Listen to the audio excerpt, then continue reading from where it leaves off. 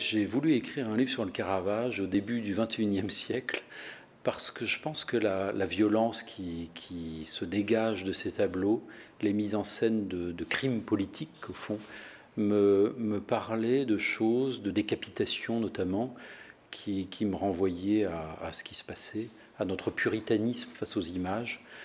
Et, je me disais que ce déferlement dont nous sommes la proie, l'objet sans cesse, relève aussi euh, de, notre impossibilité à voir certaines choses. Quand j'ai commencé à, écrire ce livre, il y avait, il y avait ces images insoutenables euh, publiées sur, euh, sur Internet par l'État islamique de décapitation, images que je n'ai pas, que je, pas voulu voir et qui me renvoyaient à quelque chose d'immémorial, enfin. Et j'ai pensé tout de suite au Caravage, au fait au XVIe siècle, voilà, euh, il, y avait ces têtes coupées, il y avait la tête de de Goliath, il y avait la tête d'Holoferne, et c'était un peintre euh, qui, fixait ce grand point de violence et de sacré où l'humanité s'était ancrée. Voilà, c'était ça, c'était très confus de ma part, et je sais qu'il n'y a, a, aucune commune mesure entre les images terroristes et la peinture classique, mais c'était ça, c'était le désir d'y voir plus clair. C'est Daniel Arras qui dit on n'y voit rien. Face à la peinture, on n'y voit rien et on cherche justement à, on cherche à travers des détails à, à, sinuer vers, vers un point de clarté. Ça, c'est la première chose qui m'a poussé à écrire sur le Caravage. Il se trouve que le Caravage, par ailleurs, euh, relève d'une émotion originelle pour moi. C'est quand j'avais 15 ans, j'étais enfermé, entre guillemets, dans un pensionnat militaire. La seule chose qui m'a. L'une des seules choses avec la lecture de Lautréamont, de Moby Dick, bon, l'une des seules choses, ça a été la, un album de peinture italienne qui, traînait dans, la bibliothèque poussiéreuse de, de, ce pensionnat. Et il y, avait un, il y avait un détail en noir et blanc d'une femme qui m'a plu tout de suite. Voilà.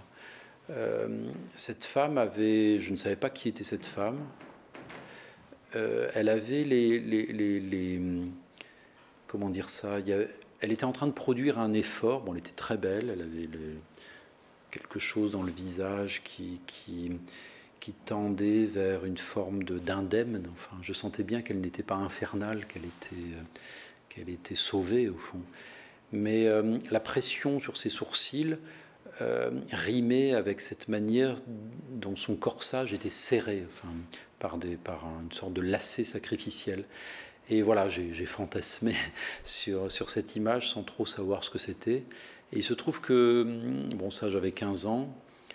Euh, 15 ans plus tard, je me retrouve à Rome, au Palazzo Barberini, et, euh, et je tombe sur, sur le tableau, mais euh, complet, total, et je vois que cette femme était Judith et qu'elle était en train, avec ce froncement de sourcils, elle était en train euh, de décapiter un homme, de décapiter le général assyrien Holoferne. Et, euh, et voilà, entre, entre l'obsession érotique, entre Eros et ce qui avait lieu réellement, c'est-à-dire Thanatos, il y avait tout un roman euh, que j'ai vécu dans l'autodérision, mais qui, qui, est le roman du désir lui-même. Et ça, de là est née ma, passion pour la peinture du Caravage, à savoir que, finalement ce qui, me, pousse vers la peinture, et c'est l'objet de ce livre, c'est quelque chose d'aphrodisiaque, et, à savoir que la peinture est liée au désir qu'on peut avoir pour des figures peintes, mais aussi à, à quelque chose qui vient dénier ce désir, quelque chose qui vient angoisser ce désir, qui vient nous ramener à, la finitude, à la mort. Voilà, la peinture pour moi c'est de la métaphysique, comme vous l'avez compris, ça, brasse de, très grandes choses qui sont trop grandes pour moi. Et, euh, je me suis dit que, que, voilà, j'avais envie de redéplier ce, ce très ancien scénario, de, de, reparcourir toute la peinture du Caravage, de m'interroger à nouveau sur la légende de, ce peintre qu'on assimile trop vite au mauvais garçon qu'il a été, à, la manière dont il a dépensé ses nuits sexuellement. Et, justement de voir en quoi, en quoi cette dépense, en quoi cette sexualité, en quoi ce rapport avec le mal fondait la peinture occidentale. Je, pense que, le rapport comme ça exacerbé, euh, érogène que, j'ai eu avec la peinture, et en l'occurrence avec celle du Caravage, bon, il y, a, Van Gogh, il y a Delacroix, il y a Bacon, mais c'est quand même d'abord le Caravage. Je pense que ça, a à voir avec, euh, avec, avec ce qu'on peut ressentir d'insuffisant dans sa vie, qui fait qu'on va vers quelque chose d'absolu. Et moi, cette manière d'aller vers quelque chose d'absolu, euh, bah, ça a été l'écriture. L'écriture est un lieu pour moi d'analyse, même je dirais même de psychanalyse, mais, c'est un lieu euh, qui est celui de la vocation à l'absolu. Et euh, me confronter à, de manière silencieuse pendant beaucoup d'années à, d'aussi violentes peintures, puis me mettre à écrire finalement depuis un an et demi sur ce très grand peintre, c'est une manière de, de chercher par l'écriture quelque chose que les philosophes cherchent euh, par des concepts, au fond. Qu'est-ce qui a lieu quand on se, quand on se voue à l'insaisissable Enfin, qu'est-ce qui, qu'est-ce qui peut nous répondre depuis l'invisible?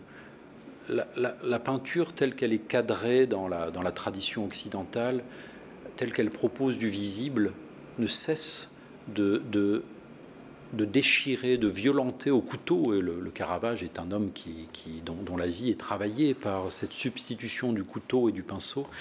Et je pense voilà que le visible est morcelé. Enfin, ce que nous vivons nous euh, au XXIe siècle, au XXe siècle, au XXIe siècle, c'est vraiment une j'allais dire, une violentation, pour le dire de manière heideggerienne, de, de tout ce qu'il en est de, nos, de notre manière d'être au monde. Quelqu'un comme le Caravage, c'est comme s'il avait en 39 ans, comme s'il avait déjà vécu euh, ce morcellement, cette fragmentation, cette vie violente, comme dirait Pasolini. Voilà, j'ai voulu faire le point aujourd'hui euh, sur, sur ça, sur cette proposition artistique, et redéployer quelque chose qui peut nous parler. Je pense que le, je pense que le Caravage, qui est le contemporain de plusieurs pestes qui ont eu lieu en Italie, euh, c'est-à-dire de catastrophes totales au fond, qui est aussi le contemporain d'un rapport avec l'être qui est très travaillé par du spirituel et par son anéantissement sans cesse. Euh, c'est quelqu'un qui est notre, euh, notre frère, au fond. Euh, ce qui pouvait animer de manière fiévreuse quelqu'un comme le Caravage, c'est ce qui peut nous animer aujourd'hui, enfin, dans notre, notre perdition, dans notre désir de, de nous raccrocher à quelque chose, d'y croire, de ne plus y croire, de s'auto-détruire, d'en vouloir plus. Sa soif me parle beaucoup, vous voyez.